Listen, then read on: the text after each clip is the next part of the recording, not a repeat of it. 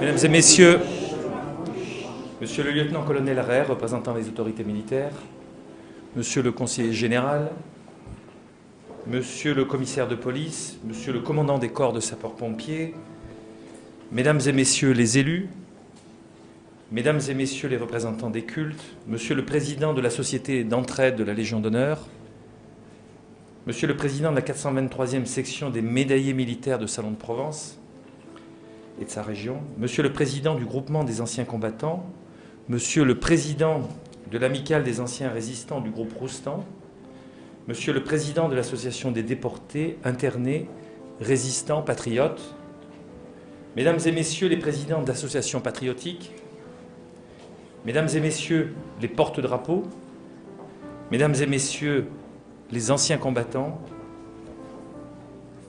Madame et Monsieur Stoy, représentant l'armée américaine, Mesdames et Messieurs les membres du comité communal Feu et Forêt, Mesdames et Messieurs, le chef est affamé.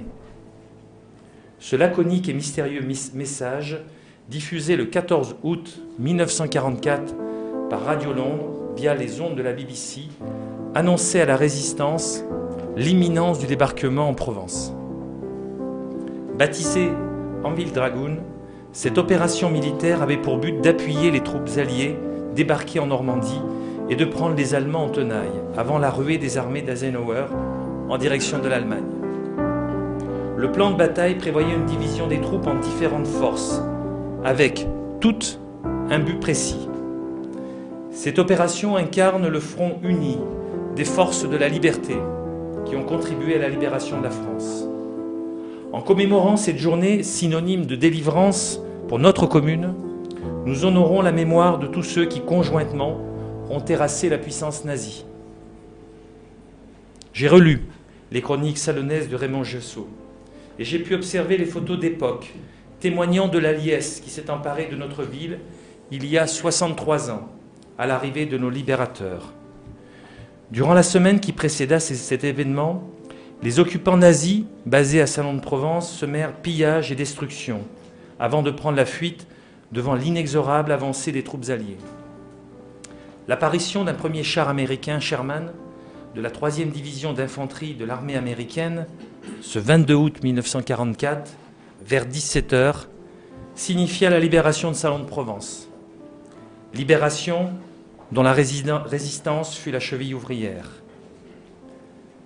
J'adresse, mesdames et messieurs, au nom de la communauté salonnaise, notre profonde et éternelle reconnaissance aux soldats américains, britanniques, australiens, néo-zélandais et canadiens qui ont débarqué et se sont battus en terre de Provence. La France et Salon de Provence n'oublieront jamais le sang versé par les troupes alliées pour leur liberté. Notre reconnaissance est également sans bornes pour les troupes françaises participant à cette opération. Elles comptaient dans leur rang pour moitié des combattants natifs de l'Empire colonial et d'Afrique plus précisément.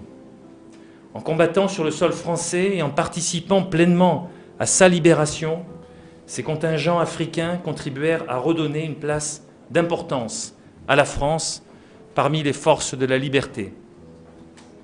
Pour toutes les Françaises, pour tous les Français, quelle joie profonde, intense, inoubliable, quelle fierté que de voir l'armée de la France combattante engagée aux côtés de ses alliés dans le combat pour la libération de notre sol.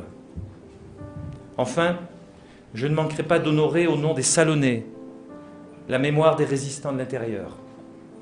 La résistance qui seconda les forces régulières en harcelant l'ennemi, en acheminant les informations, en favorisant les conditions d'opération militaire d'envergure. Résistance à l'envahisseur, pour laquelle notre commune a payé un lourd tribut du sang de ses enfants. Si tous les résistantes et tous les résistants salonnés ont une place dans nos cœurs, Gaston Gabrier, Jules Morgan et leur chef de secteur Marcel Roustan, morts fusillés au Val de Cuèche, sont des figures emblématiques de cet immense sacrifice consenti au nom de la liberté, et d'une humanité meilleure. Au lendemain de ce lâche assassinat, tel un flot ininterrompu et irrésolu d'autres femmes et d'autres hommes, composant cette armée des ombres, poursuivront le combat pour libérer notre patrie. Affrontant au péril de sa vie mille dangers, Henri Reynaud fut de cela. Et ce sera pour moi un grand honneur de distinguer tout à l'heure, au nom de notre commune, un survivant de cette époque héroïque. Le souvenir de tous ces glorieux salonnés est vivace au sein de notre population. Et je remercie à cet égard très chaleureusement les associations patriotiques et leurs porte-drapeaux pour leur dévouement au service de cet important devoir de mémoire. La commémoration, mesdames et messieurs, manifestation de la mémoire, nous force à analyser, à comprendre et constitue une pédagogie destinée aux générations actuelles et futures. Comme l'écrivait le général de Gaulle, le souvenir, c'est non seulement un pieux hommage rendu à nos morts, mais aussi un ferment toujours à l'œuvre dans, dans, les actions des vivants. Ce devoir de mémoire est un ciment puissant pour notre communauté nationale, car il lui permet d'édifier de plus solides fondations pour son avenir.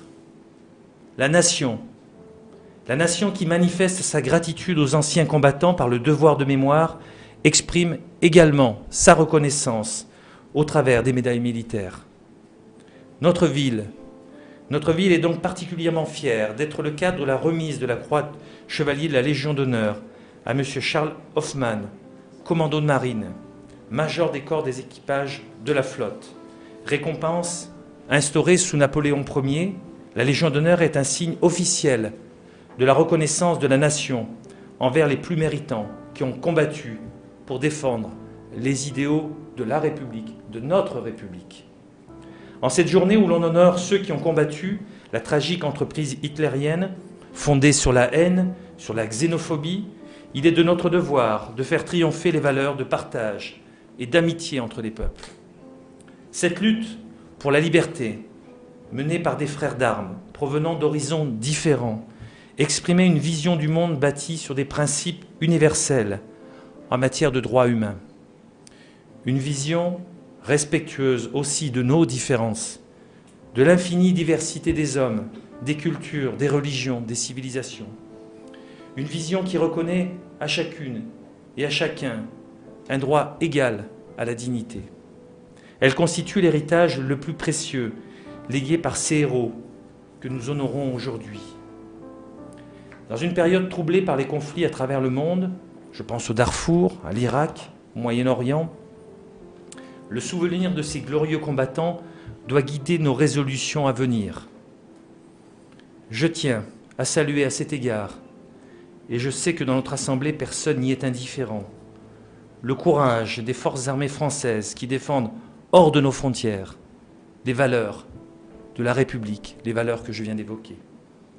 Et s'il s'agit de ne pas transiger devant la moindre manifestation de l'intolérance, je souhaiterais cependant citer l'écrivain aviateur Antoine de Saint-Exupéry, un combattant qui s'exprimait ainsi à propos de la guerre.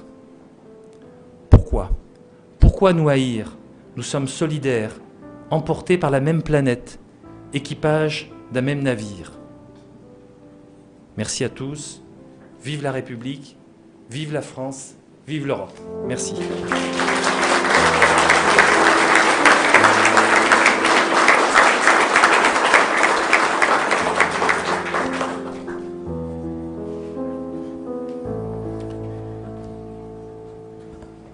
Bien, je vais appeler euh, Monsieur Henri euh, Louis Reynaud.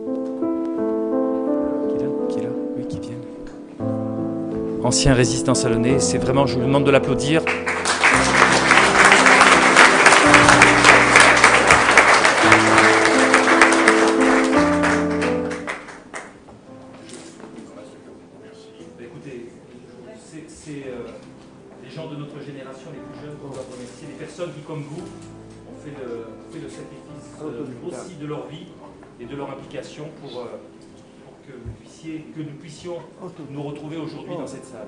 Je suis très honoré et je pense que dans l'Assemblée, c'est un symbole important et un témoignage de notre euh, reconnaissance éternelle. Merci.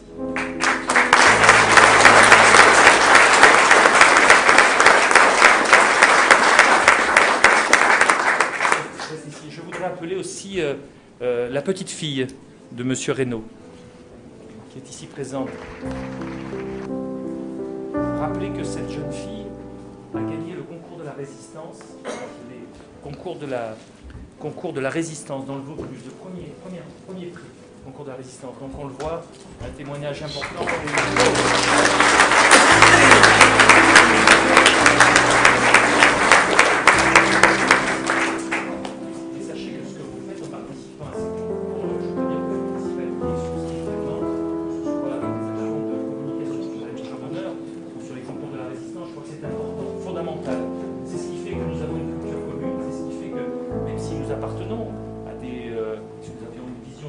De ce que peut être la vie politique en France, nous avons au moins une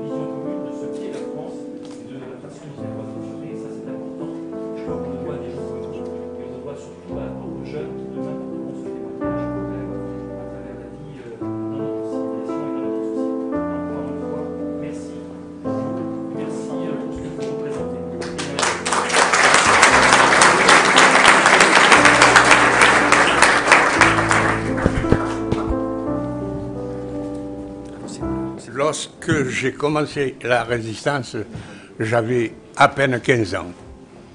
J'en ai 83 aujourd'hui. C'est la première fois qu'on me rend tant d'honneur et j'en me remercie, monsieur le maire. Tous nos morts, je voudrais qu'ils soient là et je serais heureux. Merci.